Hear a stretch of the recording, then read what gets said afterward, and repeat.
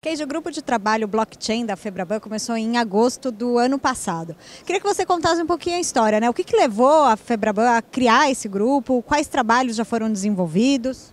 Bom, o que levou a Febraban a criar esse grupo é que a gente percebeu que várias instituições vinham trabalhando individualmente no assunto. E no CIAB do ano passado a gente percebeu que o assunto realmente é, era, muito, era muito importante para toda, toda, todo o mercado financeiro. Tá? Ah, e aí foi decidido no Comitê de Tecnologia da Febraban a criação desse grupo. Tá? Nós convidamos vários bancos, os bancos fazem parte do Comitê de Tecnologia da Febraban, ah, a, a, participar desse grupo, incluindo também as câmaras, né? a CIP, a CETIP e a BMF Bovespa. Tá? Com isso a gente começou algumas ondas de trabalho, né, onde a primeira onda foi basicamente o engajamento de todo mundo, aí eu como co-líder, mais o líder, o Adilson, tá, trabalhamos muito né, com que todas as instituições né, trouxessem as suas informações, aquilo que estavam eh, sendo feito em cada uma das casas. Ah, em, em uma segunda onda a gente começou a nivelar conhecimento, partimos para uma terceira onda, que foi testar a tecnologia, e a gente vai começar agora uma quarta onda. Essa terceira onda que foram as provas de conceito, né? Como o projeto DNA. Exato. Nós fizemos dois, dois, duas provas de conceito. Tá? A primeira foi a, a, a, primeira foi o projeto Fingerprint, tá? basicamente na tecnologia Corda da R3. Né? Para isso a gente, é, os três associados da R3, a B3, o Itaú e o Bradesco, desenvolveram né, uma primeira prova de conceito. Ele estava embaixo do GT porque é, toda, apesar de só os três bancos serem associados à R3, todo o conhecimento era compartilhado com todos os membros do GT. Tá? Então, nesse sentido, né, o conhecimento foi também uh, uh, compartilhado, distribuído. Tá? Em seguida, a gente começou o projeto DNA, projeto DNA uh, eh, baseado em Hyperledger, da Fundação Linux. a gente começou esse projeto mais ou menos em fevereiro para março desse ano.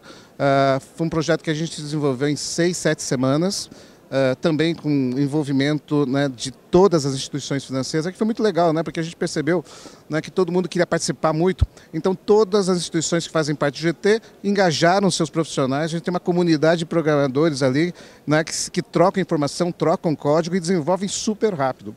Tá? Então, do zero até você conseguir preparar uma prova de conceito, em corda acho que foram seis semanas, em Hyperledger seis a sete semanas, e a gente conseguiu mostrar isso aqui hoje, né, aqui no SEAB. E essa quarta onda, o que, a gente pode esperar? Quarta onda, você pode esperar alguma coisa é, no, no, mundo mais operativo. A gente está partindo para um piloto. Tá? Se você perguntar para mim, que, que vocês vão desenvolver? Bom, a gente ainda não sabe, porque a gente está discutindo quais são os cases que, faz, que poderiam fazer parte do escopo dessa, dessa nossa quarta onda. Tudo alinhado, tanto com o KINAB com uma nova comissão de inovação da FEBRABAN. Então, tem vários assuntos que são discutidos dentro da comissão de inovação. Uh, eu faço parte da comissão de inovação também, então eu trago isso para o GT. A gente discute internamente, se a gente perceber a oportunidade, a gente volta para a comissão, oferece a oportunidade de desenvolver isso em blockchain.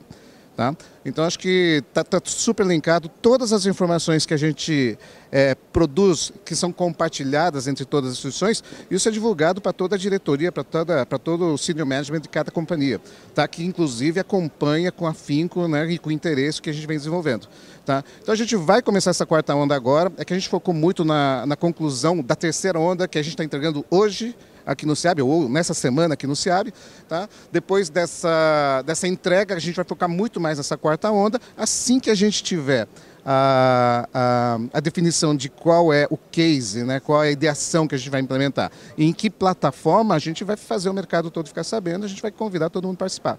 Importante, né, dentro da, da terceira onda, a gente convidou também o Banco Central para fazer parte do grupo, está trabalhando com a gente, super divertido trabalhar com eles, tá, um pessoal também que está muito engajado, entusiasmado, tá, e com isso nos dá mais segurança, do que a gente está fazendo realmente é no caminho certo.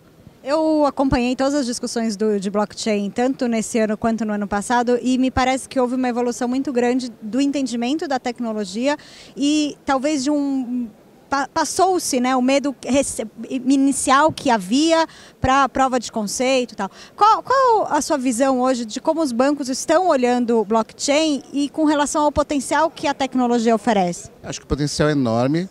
É, é um assunto que é prioridade. Você, se você participou de alguns das, é, das, dos painéis aqui, vários executivos falaram, no blockchain a gente tem que estar tá engajado, a gente tem, que entender, a gente tem que usar, tem que participar das discussões.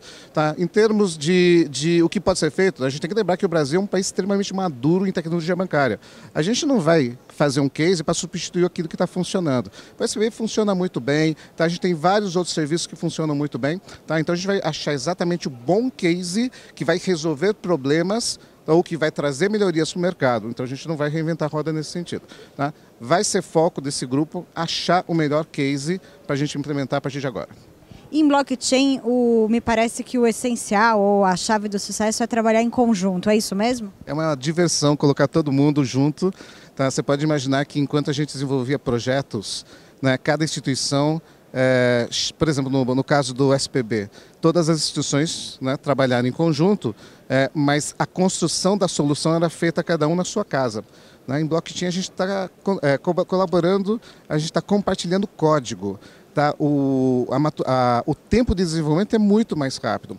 E como a gente, em várias, né, como a gente está aprendendo tudo isso, e às vezes a gente encontra algumas barreiras que parecem intransponíveis, essa comunidade de, de programadores da, das nossas instituições se juntam e conseguem né, resolver dar ideias brilhantes para a resolução dos problemas. A gente conseguiu vencer todas as barreiras com a união de todas as instituições. É, é interessante, você coloca todo mundo discutindo. Uh, a utilização da tecnologia sem nenhum chapéu ou camiseta ou bandeira que eu sou do banco tal, tal. É, não tem interesse assim, ah, eu quero sair na frente ou coisas desse tipo. Tá? Virou uma comunidade realmente de, de, de colegas, amigos, né?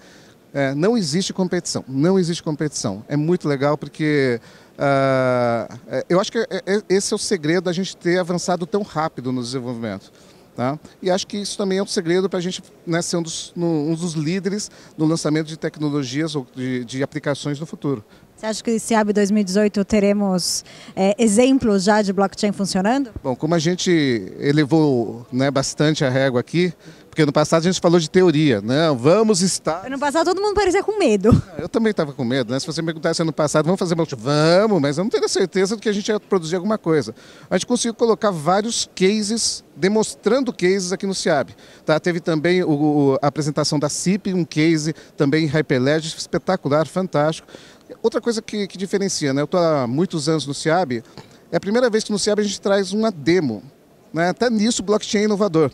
Tá? A gente conseguiu colocar três demos de blockchain funcionando, com vários bancos participando. Tá? Para o ano que vem a gente tem que melhorar mais ainda. Então, assim, não, não posso jurar, mas eu vou trabalhar com afinco para que ano que vem a gente tenha muito mais novidade em relação ao blockchain.